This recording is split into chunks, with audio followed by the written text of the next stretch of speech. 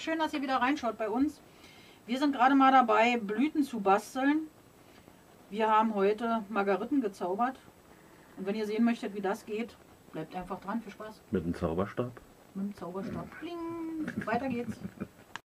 Um solche Blüten aus Eierkarton zu machen, braucht man wirklich leider solche großen Eierkartons. Die kleinen, da habe ich auch versucht, das mitzumachen. Bei diesen normalen, die 12er Packs, da geht es einfach nicht, weil die einfach anders unterteilt sind. Also ich habe es versucht, könnt ihr auch probieren. Aber ich denke mal, das geht nicht. Dann müssen wir uns jetzt zunächst immer diese kleinen Vertiefungen ausschneiden. Und da machen wir jetzt hier einfach noch den, diese Huckel hier ab.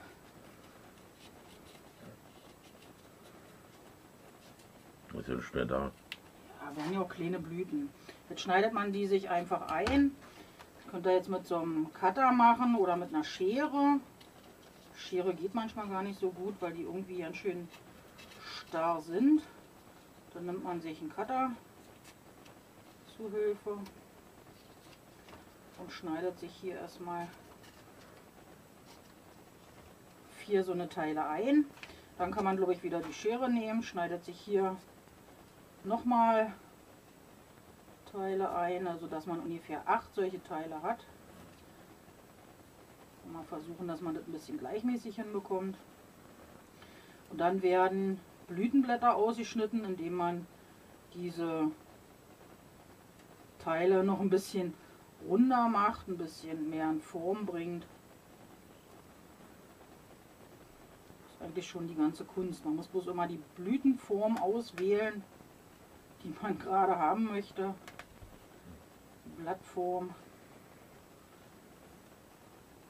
Jede Blume hat ja eine andere Blattform. Und das ist alles ein bisschen Übung. Wenn ihr davon ein paar gemacht habt, dann geht das auch rucki zucki. Ich probiere das jetzt hier auch wieder gerade das erste Mal aus.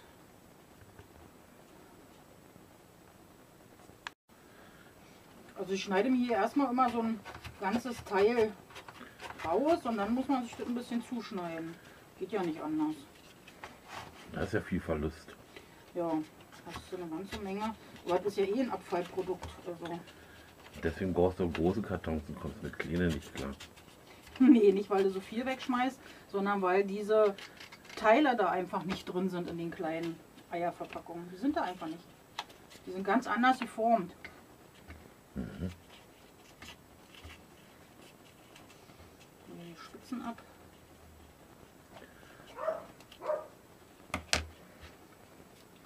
Und dann wieder einschneiden.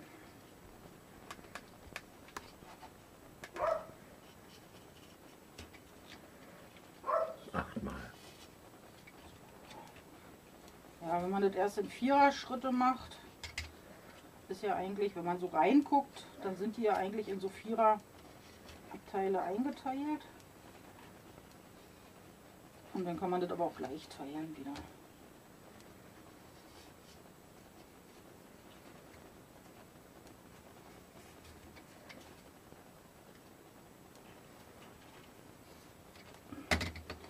So, das sind die zweite Blüte, die ich mache. Die wird dann natürlich schon besser. Ja, und die Kanten rund machen. Und jetzt wieder die Kanten rund machen. Also jedes einzelne Blütenblatt wieder schneiden. Und wir schneiden hier an dieser Stelle auch. Wenn man dann jetzt zwei davon ausgeschnitten hat, die man dann später so übereinander setzt, kann man sich überlegen, ob man hier in die Mitte später mal so einen Pompom reinsetzen möchte. Oder ob man sich... Wo ich jetzt mein kaputte Teil? Über dir? Hier. Oder ob man sich hier so ein Mittelteil wieder ausschneidet. Das ist ja hier schon so eine, so eine runde, runde Fläche angedeutet. Dann kann man sich so einen Kreis ausschneiden. Aber wenn man die Teile jetzt benutzt, dann kann man weniger Blumen machen, weil das ja genau von unten, von der Mitte ist. Ihr könnt euch aber auch woanders einen Kreis ausschneiden, das geht auch. Hier ist es bloß richtig angedeutet und dann kann man sich da noch so einen Mittelpunkt reinsetzen. Na, hier geht ja, weil der ein bisschen rund ist. Ein Ja. bisschen erhöht. Aber den Pompon würde ich in der Mitte durchschneiden. Ich weiß nicht, ob man die durchschneiden kann, die man nie durchschneiden. Schneid die mal durch, schnell. Nee, dann gehen sie aus. Da! Nee, die sind ja. Ja, die sind aber so. Guck mal, dann fallen sie auseinander. Ah, Dann fallen sie auseinander. Warum hast du denn die noch durchgeschnitten? Blöd, Mann. Du musst doch nicht immer alles machen, was ich dir sage. Ja, eigentlich meint das ja auch nicht, was du sagst, aber manchmal lässt man sich hinreißen und dann ja, wieder Komm zum Lacher. voll ins Klo gegriffen. Die würde ich mache mir erstmal noch ein paar Blüten. Wenn ihr euch dann hier noch Blüten ausgeschnitten habt, kann man die einfach zusammenkleben. Heißkleber klebt ja alles. Heutzutage kleben wir alles mit Heißkleber. Das ist aber kein Heißkleber. Was denn? So ein Mitteldingkleber. Ja, so ein, ja, Niedrigtemperatur habe ich jetzt hier, aber das ist halt Heißkleber. So, Mittelpunkt rein und die erste Blüte ist fertig.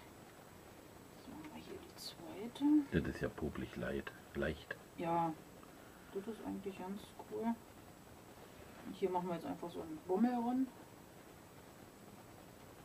Ein Bummel. Ein Pompom. Sieht auch nicht schlecht aus. So einem Pompom, ja. So cool. So. Aber ich muss dir sagen, die anderen sehen natürlicher aus. Da. Die hier? Ja. Pompon sieht gekünstelt aus. Was meint ihr dazu? Müssen wir also doch noch welche ausschneiden, solche Kreise.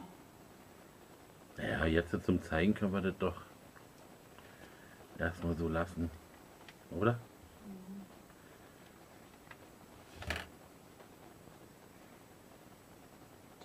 So, ein bisschen versetzt übereinander.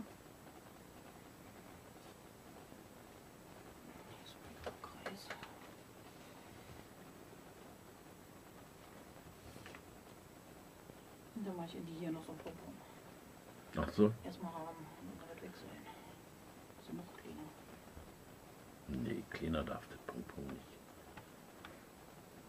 Dreh mal um die Kiste. Da. Mache ich mal einen roten rum. Ey, auf eine Margarite in Rot, das geht doch nicht. Nee. Ja klar, das ist doch eine Nee, doch Fantasie. hier. Hier ist noch. Ist doch Fantasieblume, kannst du ja machen, wie ist noch ein das. bisschen größer, aber machen wir die. Fantasieblume kannst du ja machen, wie du das gerne Ja, möchtest. man könnte die jetzt alle natürlich bunt anmalen, wie man möchte. Ich wollte aber gerne Margariten haben. Also ihr könnt die jetzt in Rot, Blau, Grün anmalen, wie ihr wollt. Meine werden jetzt einfach weiß. Oder ob ich eine bunt mache. Mal gucken. So, und jetzt geht man da noch ein bisschen mit Farbe ran. Meine sollen jetzt hier ein paar weiß werden. Und ja, ihr könnt euch überlegen, ob ihr so von unten und von oben anmalt. Ich male das jetzt bloß von oben.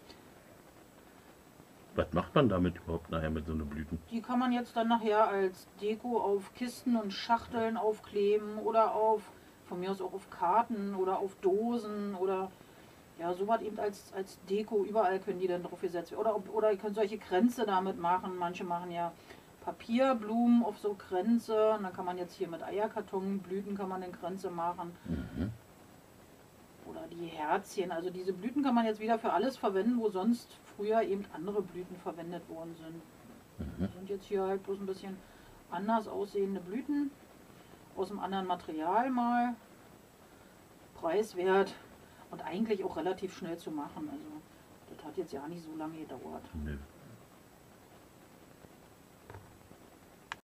Bei der hier brauche ich ja nun nichts anmalen. Da habe ich ja den Pompom drin. Den kann man eigentlich auch ganz zum Schluss draufkleben, wenn man alles weiß gemalt hat.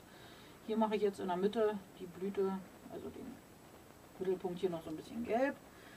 Und hier habe ich doch noch ein paar bunte gemacht und sieht edel aus. Also mit ein bisschen Farbe sieht es schon wieder ganz toll aus, finde ich. Ja.